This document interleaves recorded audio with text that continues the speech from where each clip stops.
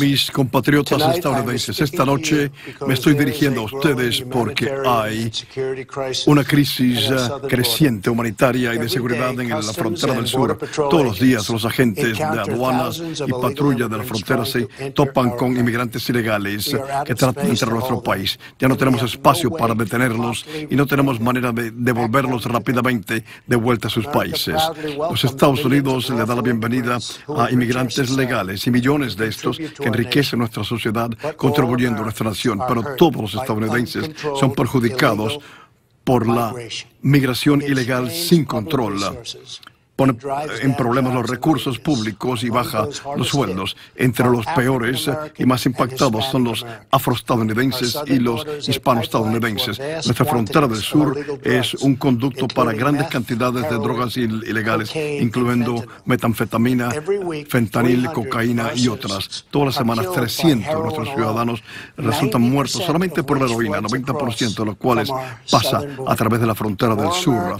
Más estadounidenses han de morir de estupefacientes este año que los que fueron matados durante toda la guerra de Vietnam. En los últimos dos años, los oficiales de ICE hicieron 266 mil arrestos de extranjeros con récords penales, incluyendo aquellos acusados o encontrados culpables de 100.000 asaltos, 30.000 crímenes sexuales y 4.000 asesinatos violentos. Durante el pasar de los años, millares de estadounidenses han sido asesinados brutalmente por aquellos que ilegalmente han entrado a nuestro país y millares más de vidas serán perdidas si nosotros no actuamos en estos momentos.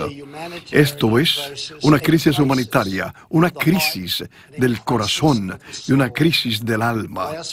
El mes pasado, 20.000 niños inmigrantes fueron ilegalmente entrados a los Estados Unidos, un aumento dramático. Estos chicos son usados como peones humanos por coyotes viciosos y pandillas.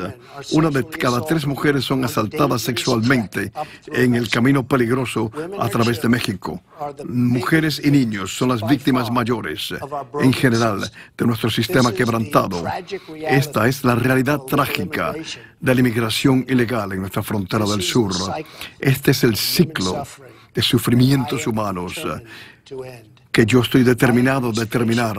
Mi administración le ha presentado al Congreso con una propuesta detallada para asegurar la frontera y detener las pandillas criminales, los eh, narcotraficantes y los traficantes de seres humanos, que es un problema enorme. Nuestra propuesta fue desarrollada por profesionales de agencias policiales y agentes de la frontera en el Departamento de Seguridad de la Nación. Estos son los recursos que ellos han pedido para poder cumplir debidamente con su misión y mantener seguros los Estados Unidos, de hecho, más seguro que jamás antes. La propuesta del Departamento de Seguridad de la Nación incluye eh, tecnología ultramoderna para detectar estupefacientes, armas, contrabando legal y muchas otras cosas. Hemos pedido más agentes, jueces de migración y espacio de camas para procesar el aumento tan agudo de migración ilegal debido a nuestra economía tan fuerte. Nuestro plan también contiene una petición urgente para asistencia humanitaria y apoyo médico. Además, le hemos pedido al Congreso que cierre la seguridad, las lagunas de seguridad de la frontera para que los niños de inmigrantes ilegales puedan ser seguramente y humanamente devueltos a sus hogares. Y por último, como parte de una manera de abordar esta seguridad de la frontera, los profesionales de agencias policiales han pedido 5,7 mil millones de dólares por una barrera física. Bajo la petición de los demócratas será una barrera de y no un muro de concreto. Esta barrera es absolutamente crítica para la seguridad de la frontera.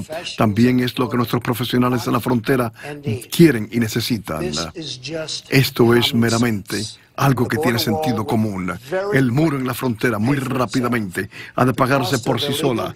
El costo de estupefacientes ilegales excede 500 mil millones de dólares al año, mucho más que los 5,7 mil millones de dólares que le hemos pedido al Congreso. El muro también ha de ser pagado indirectamente por el nuevo gran acuerdo comercial que hemos hecho con México. El senador Chuck Schumer, del cual van a estar escuchando más tarde esta noche, en repetidas ocasiones ha respaldado una barrera física anteriormente, junto con muchos otros demócratas también. Han cambiado de opinión solamente después que me eligieron a mi presidente. Los demócratas en el Congreso han rehusado reconocer la crisis. Y han rehusado ellos darle a nuestros agentes tan valientes de la frontera con las herramientas que tanto necesitan para proteger a nuestras familias y a nuestra nación. El gobierno federal permanece cerrado por una sola razón, exclusivamente una razón, debido a que los demócratas no van a dar fondos necesarios para la seguridad de la frontera. Mi administración está haciendo todo lo posible para ayudar a aquellos impactados por esta situación. Pero la única solución es que los demócratas aprueben este proyecto de ley para gastos que defienden nuestra frontera y reabra el gobierno. Esta situación pudiera resolverse en una reunión de 45 minutos. He invitado a líderes congresionales a la Casa Blanca para que vayan mañana allá para lograr esto. Tenemos esperanzas de que nosotros podemos descartar la politiquería partidista para respaldar la seguridad de la nación. Algunos han sugerido una barrera que es un muro. ¿Y entonces por qué? Es que los políticos acaudalados construyen ah, verjas y muros rodeando su casa. No construyen estos muros porque odian a las personas afuera, pero porque aman a las personas que están adentro. Lo único inmoral es los políticos que no actúan y continúan permitiendo que más personas inocentes sean tan horriblemente victimizados. El corazón de los Estados Unidos se quebrantó el día después de la Navidad, cuando un joven policía en California fue salvajemente asesinado a sangre fría por un extranjero ilegal que acababa de cruzar la frontera. La vida de un héroe estadounidense fue robada por alguien, alguien que no tenía derecho de estar en nuestro país. Día tras día, vidas preciosas son eliminadas por aquellos que han violado nuestras fronteras. En California, un veterano de las Fuerzas Aéreas fue violado, asesinada y golpeada hasta que murió por un, con un martillo por un extranjero legal con un historial criminal largo. En Georgia, un, elegante, un, inmigrante ilegal ah, hace poco fue encontrado culpable por haber degollado y haberle quitado los miembros a esta persona miembros de pandillas que han llegado a los Estados Unidos y menores de edad no acompañados fueron arrestados el año pasado después de haber apuñalado viciosamente y haberle dado golpes a una chica de 16 años de edad. Durante estos últimos años me he reunido con docenas de familias cuyos seres queridos fueron robados en sus vidas por migrantes ilegales. He sujetado las manos de las madres que lloran y he abrazado a estos padres que tan, tan tristes, tan tristes esto y tan horrible. Nunca de olvidar, de olvidarme del dolor en sus ojos, el temblor de su voz como, se quebranta y las almas desgarradas. ¿Cuánto es más sangre estadounidense tenemos que nosotros derramar antes de que el Congreso actúe para aquellos que rehusan llegar a un acuerdo en nombre de la seguridad de la frontera?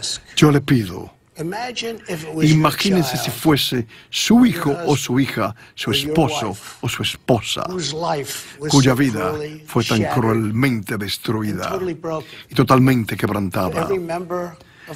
A todo miembro del Congreso, aprueben un proyecto de ley que termine esta crisis.